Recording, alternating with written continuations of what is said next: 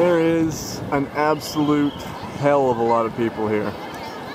You can just see them all lined up like ants. I'm kind of scared to go up there. I need it to rain again so that everybody runs away and I can just walk around looking like a fool with my uh, poncho on.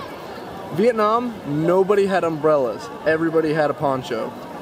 Every single person riding a scooter wore a poncho when it rained. Here, you put on a poncho and you, they think you're an alien. They just can't understand. They'll walk around in the rain all day, but they will not pay the. Nobody sells them, so maybe there's a business. Anyway, quite beautiful here. I wish the weather was better.